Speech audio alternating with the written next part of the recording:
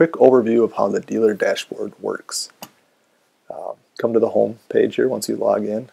It'll list your last five saves. You can click in them to see more information about uh, the people that contact you and what they saved in their golf cart builder.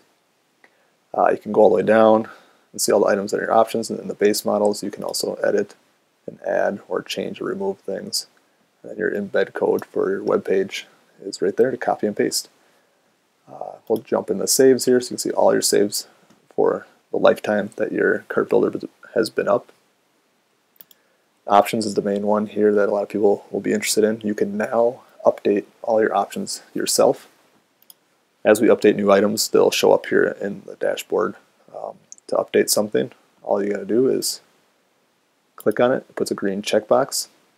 Um, if you want a price to show, then you would type in your amount here.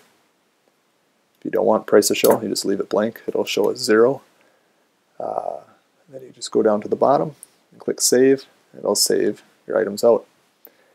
Otherwise, a quick way to do it would be just to go through and select all your items for each tab. All the ones you want to show. Then when you get done, you can just click save.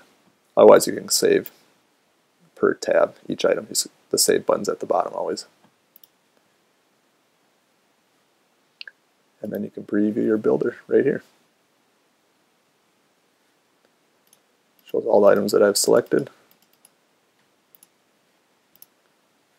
All the wheels that are in here. Seats, roofs, miscellaneous items, conversions, batteries, um, the save button, and the reset.